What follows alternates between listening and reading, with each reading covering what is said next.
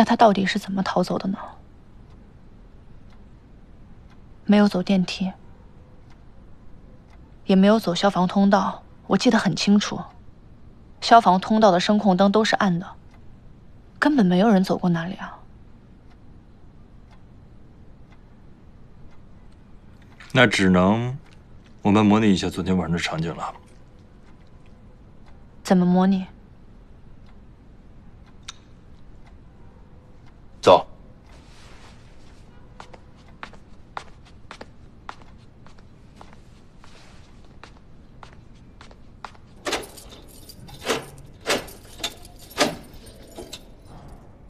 一会儿你坐电梯下去，我从消防通道走。下楼之后，你跑到与保安汇合的地方再返回来，看看这段时间我是否可以逃走。好。当时你坐的电梯就在这一层，对吧？对，当时我刚坐这台电梯上来的。去把电梯叫上来。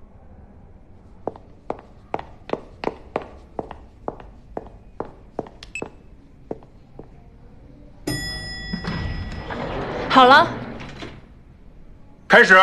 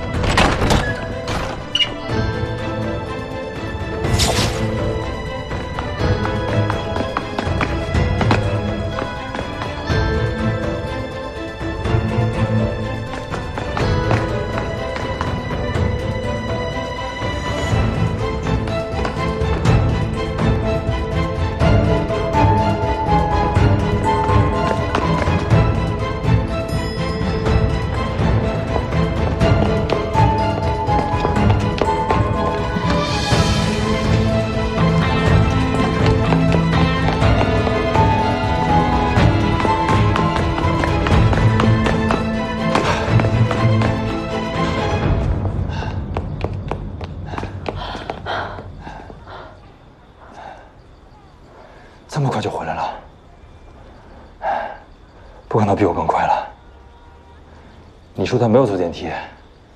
是的，当时另一部电梯一直停在四楼。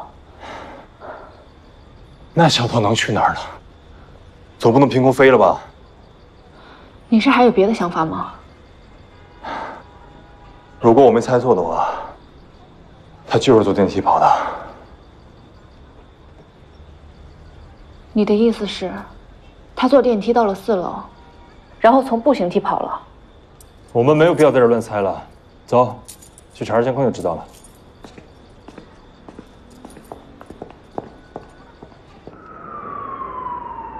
您报警铃是在九点四十四分，那咱们就从九点四十分开始看起，可以吧？嗯。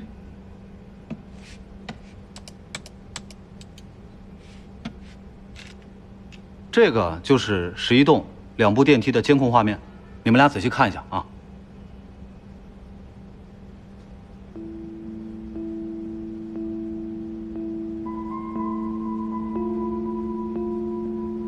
这是我刚刚回到家的时候。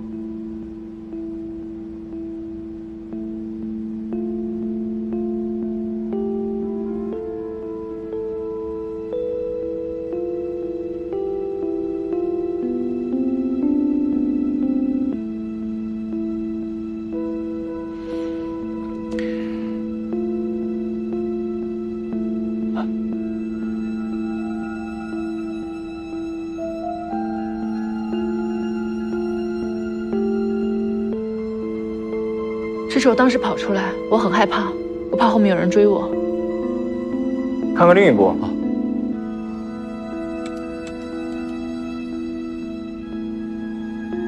十六楼，十六楼来了。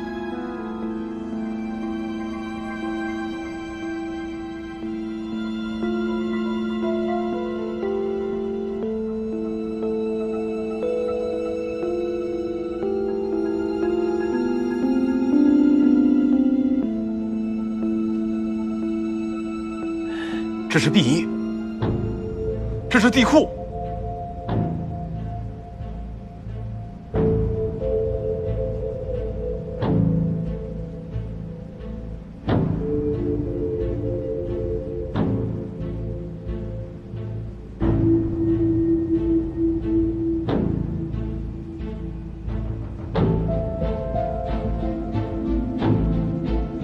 难怪我跑回去的时候，另外一部电梯一直在四楼。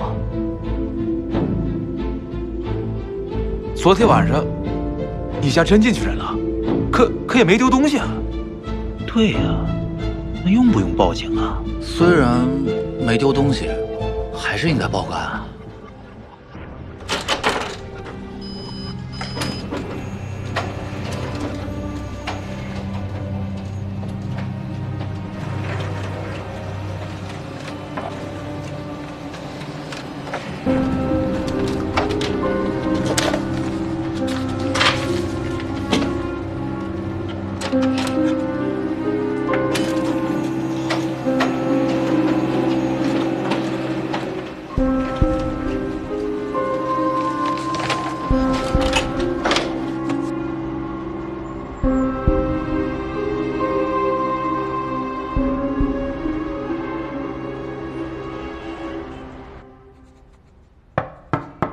进来。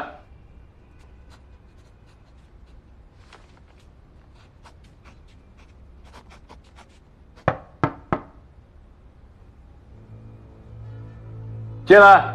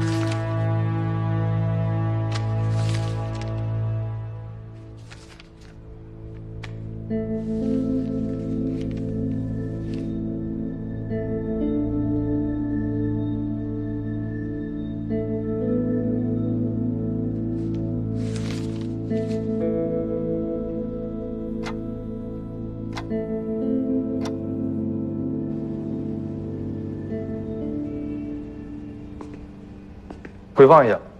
好。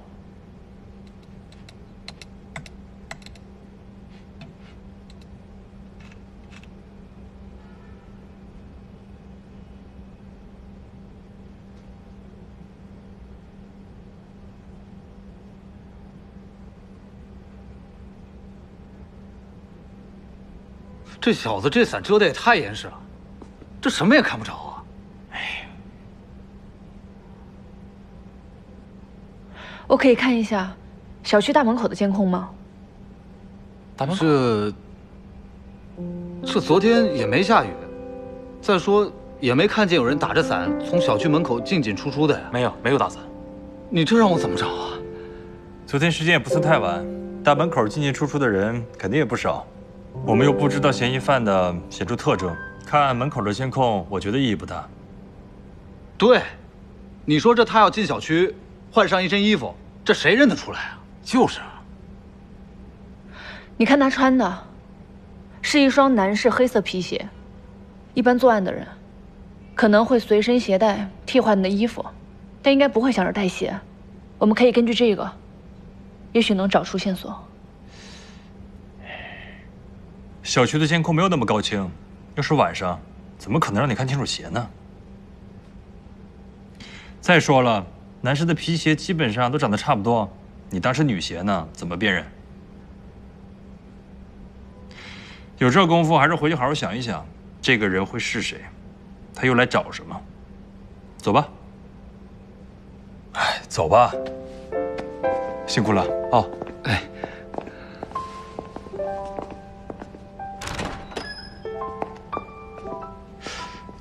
怎么进去人的？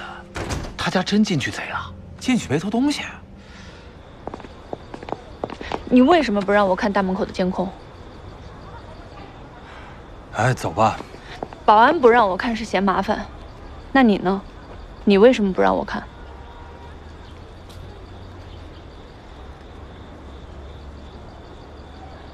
你就那么想知道答案？你一直都都这么直吗？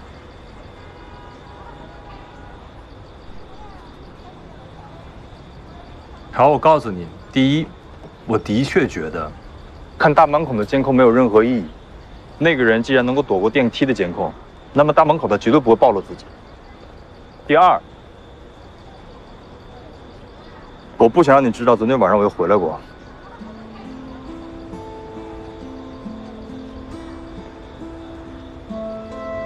什么时候？什么时候回来的？你的电话突然挂断，再打也没人接，我有点担心，就赶过来了。正好碰到了刚才那两个保安，才知道你家里进人了。后来我在你家门口守了半夜。这个答案满意了吗？你不用多想，只是出于朋友的关心，以及顾及老严和苏儿的情分。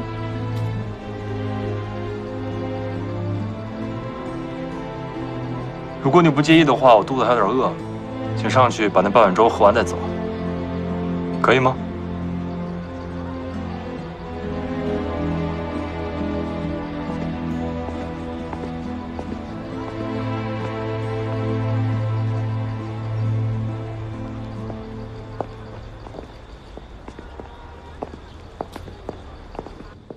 这个人显然对你家小区很熟悉，他知道怎么躲监控，也知道地库除了单元门还有其他的出口可以出去。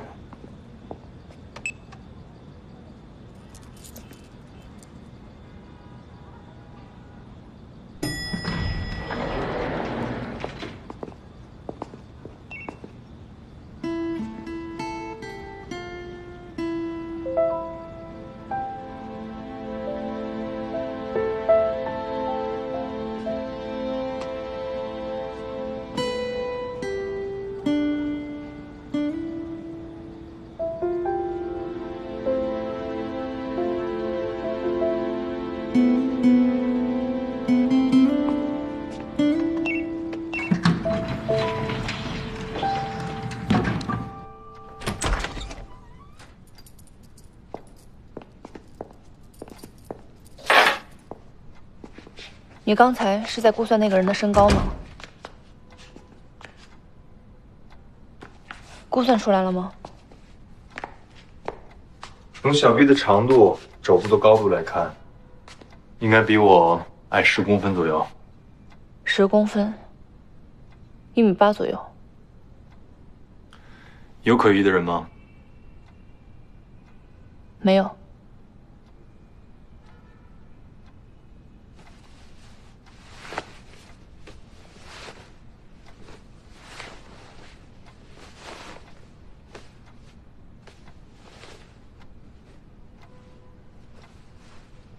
能帮我清洗一下大衣上的血迹吗？明天下午还要去见一个客户。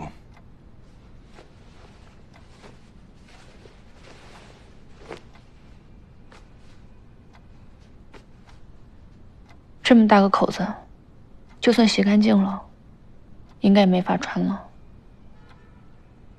先简单处理一下吧。我过来只带了这么一件大衣，没得换。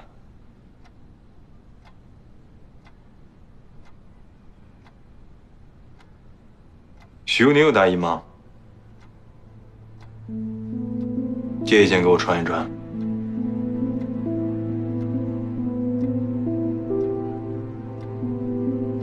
有倒是有，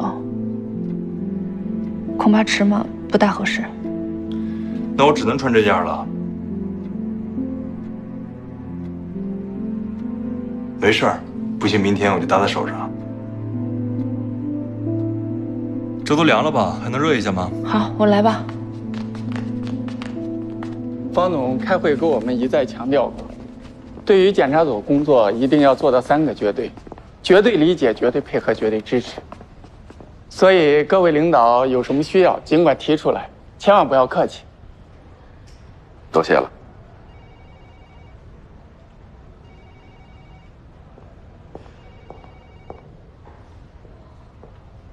啊，今天又忙到这么晚，各位领导实在是太辛苦了。啊，我看要不然这样，咱们呀先不回酒店，我带各位领导去放松一下，怎么样？不用了，任主任，多谢。啊，怎么这么晚才下班啊？身体受得了吗？嗯我们小老百姓不就得拼命工作吗？不然靠什么吃饭？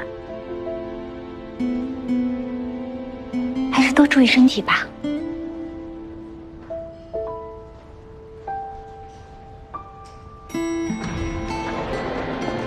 走了。走吧。啊，不了，我等下一波。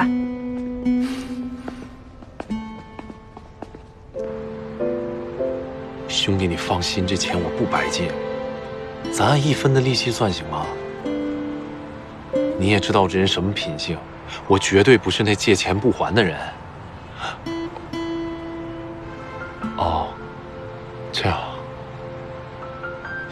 那先算了，我再想想其他办法吧。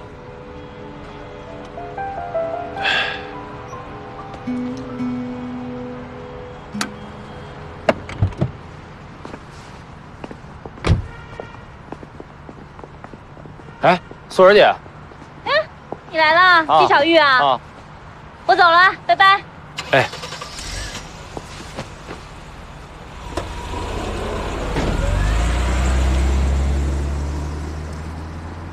哎，老婆，把包给我，素儿姐刚走，刚跟她打个招呼。走吧。这种人啊，眼睛都长在头顶上，只会往上看，甭搭理他，没有用。他跟阮真真是一路人，不然他们怎么生活？哎，不理就不理，咱又求不着他们是吧？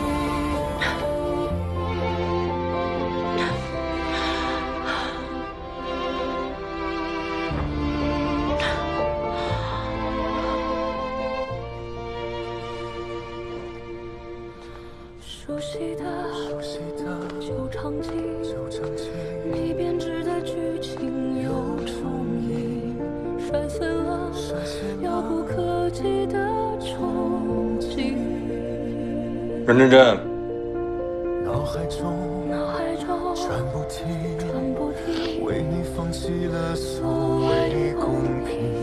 啊，怎么了？洗好了吗？马上就好。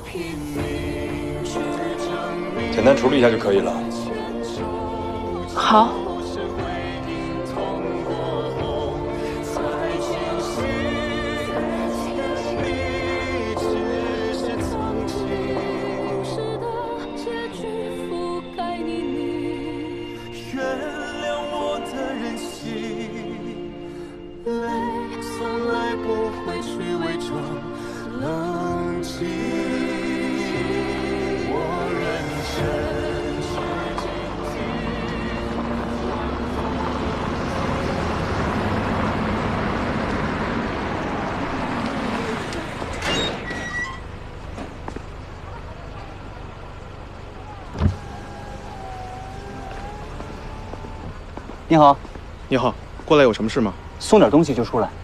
找几号楼？十一栋幺六零二。你好，电话号码留一下。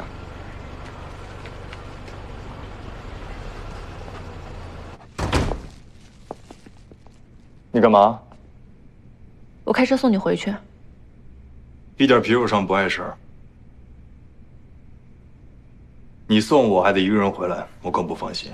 把药给我吧。那我送你到楼下吧。好，下了答辩状，就该帮你准备笔迹鉴定的事了。只要能证明你的那些签名是徐永宁伪造的，对你来说也算是个有力证据。我问过法院了，他们让我回家等通知，到时候和原告一起摇号，选择鉴定机构。我帮你准备相关材料。不用。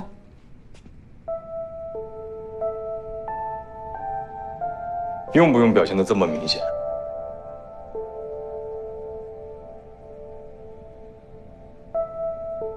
就算是想和我划清界限，也要慢慢说，做的不动声色。你总是这么直接干脆，只会让大家更尴尬。这是基本的人情世故，多少学一点吧。绕弯子说话吗？可以这么理解。好吧，我尽量。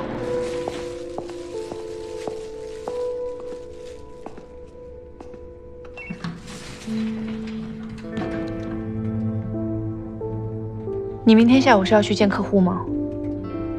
对，怎么了？有事吗？哦，没事儿。不要因为我的事情耽误你的工作。不会。材料我还是会帮你准备，回头需要什么我再跟你要。谢谢啊，真是太麻烦你了。不麻烦。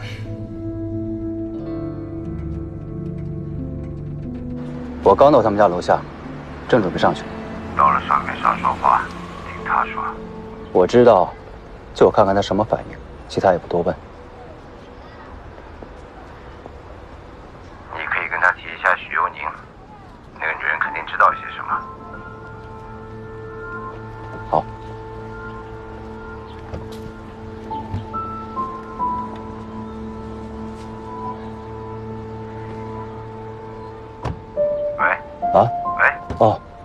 等我下来再跟你说，先挂了。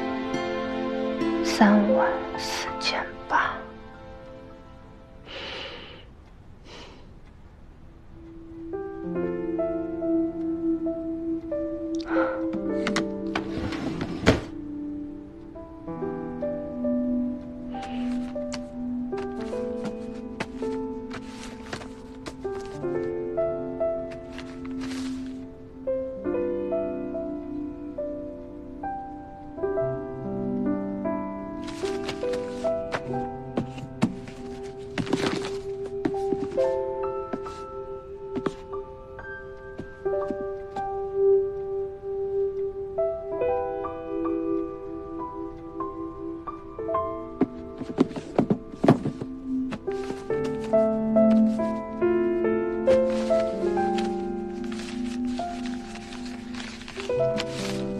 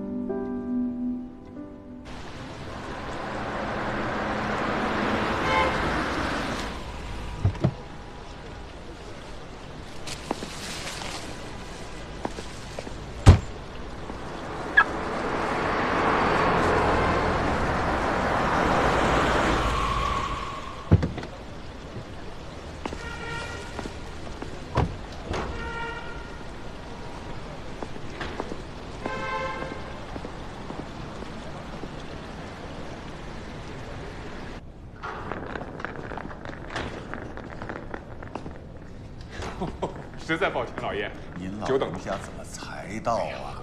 门口没车位，你看那么多车，好不容易停到位，哦，停的有点远。你现在越来越难约了，哎呦我发现。哪有啊？行了，一会儿说，到那儿走啊。走。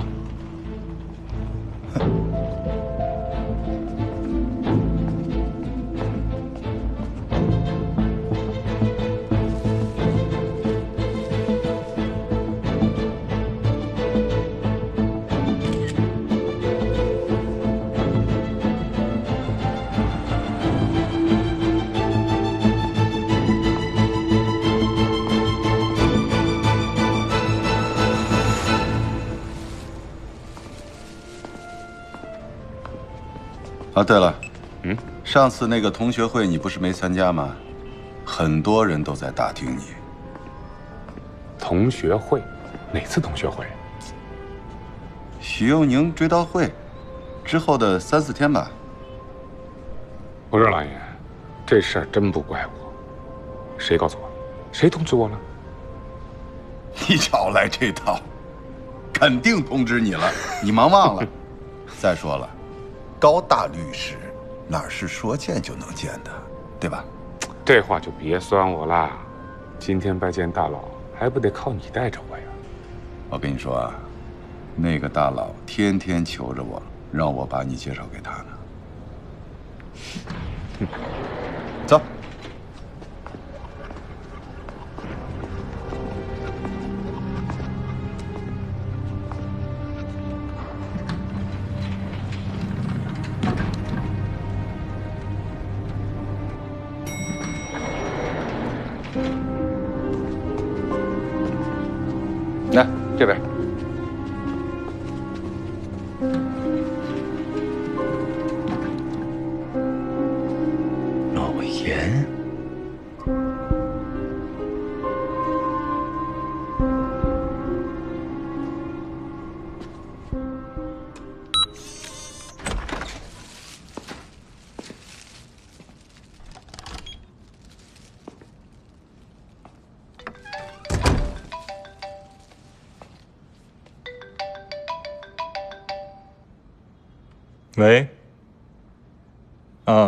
我刚给你传的照片，给我查一下照片那个男人是谁？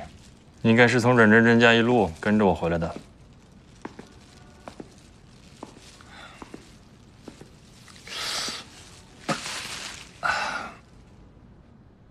没事儿，你不用过来。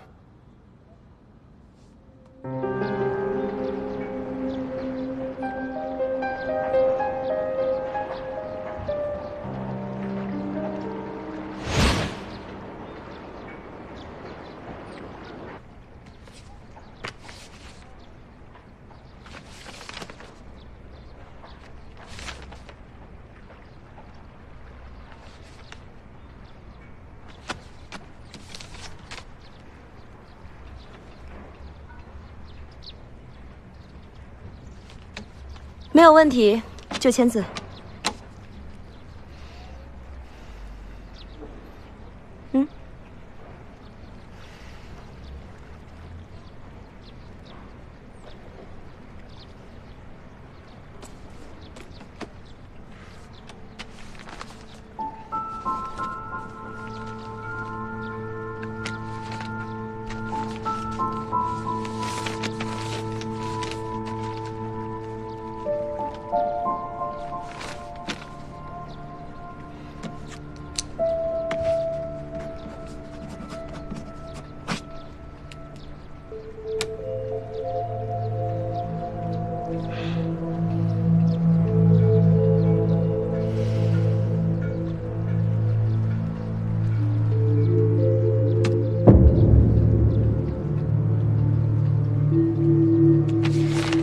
小时之内我们放款。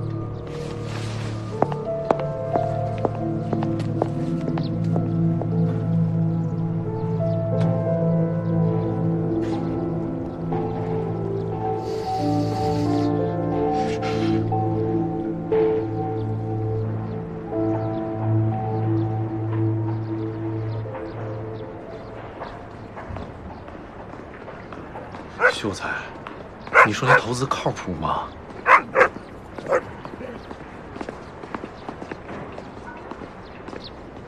哎，秀才，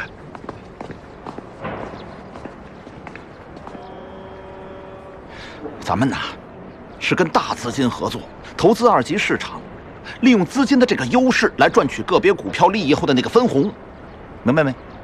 没明白，什么意思啊？说白了就是跟着庄家割韭菜。那韭菜能割那么快吗？那你不得分什么刀吗？咱们就好比是那个刚开刃的大菜刀，再说不还有配资呢吗？歘歘一割，往杠杆上这么一放，咵咵一杠，这个利益就翻番了，明白没？啊，你看，要不说你聪明呢。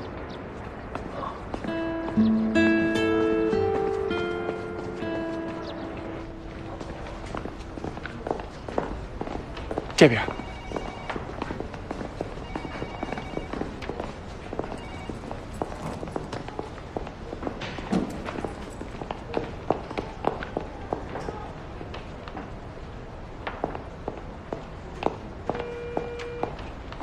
喂，听到了吗？答辩状已经交上去了。笔迹鉴定的材料，高俊说他会帮我准备，你就不用操心了。那感情好，有他在帮忙我就放心了。我怀疑，我怀疑高俊他，你怀疑高俊什么？我怀疑他还有点喜欢我。你说又想多了？他又跟你表白了？没有表白，但是，但是什么呀？总感觉怪怪的，尤其是这一次，从老家回来以后，他对我的态度和之前比，很不一样。这两天他还，他还什么？哎呦，你快点说，我还有事儿呢。没有什么了。总之就是，我就是觉得他现在对我太好了，不正常。对你太好也成不是了是吗？哎，阮真真，不是我说你啊，你别把人想的那么复杂好不好？你这些年没在社会混过，你不知道同学感情的珍贵，伸手帮一把的事情是太正常不过了。哎，你别瞎想了，现在根本不是纠结这个的时候，你赶紧把官司搞定了再说。老严可是搭了不少人情的。这样啊，那你代我向老严表示一下感谢呗。这我可真帮不了。怎么了？怎么了？我什么身份啊？我是最令人深恶痛绝的前女友。那老严媳妇儿别看着他了，防我跟防贼一样的。哎呦，行了，不在电话里边跟你磨叽了，回头见面再聊。挂了啊。好了，回见。嗯。哎，苏文，等一下。呃，你，你那儿有话快说，痛快点儿。嗯，先挂了，回头再说。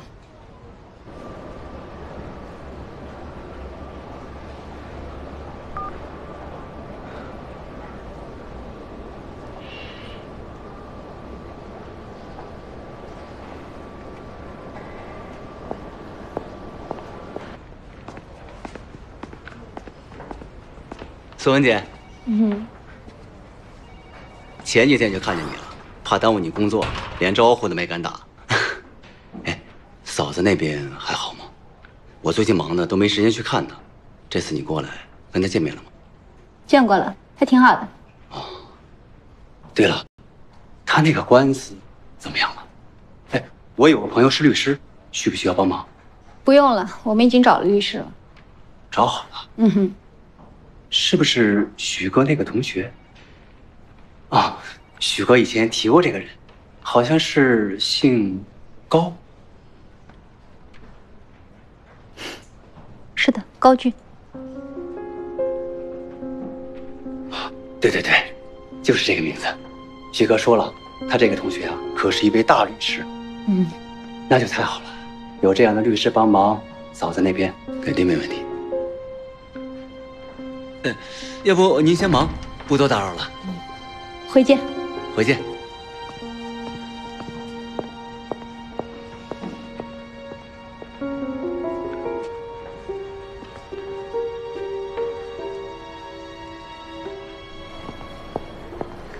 小姐，这是我们去年的秋款，只剩下这一件了。既然是去年的款式，有没有折扣啊？抱歉，我们所有的货品都是不打折的。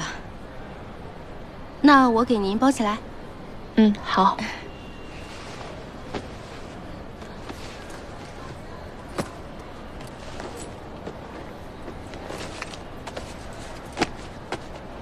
现金啊？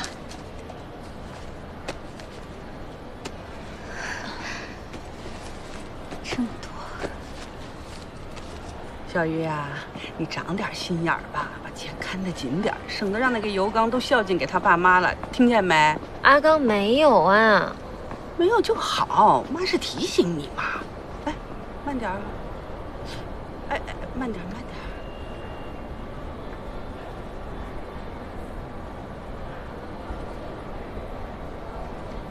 哎。又干嘛？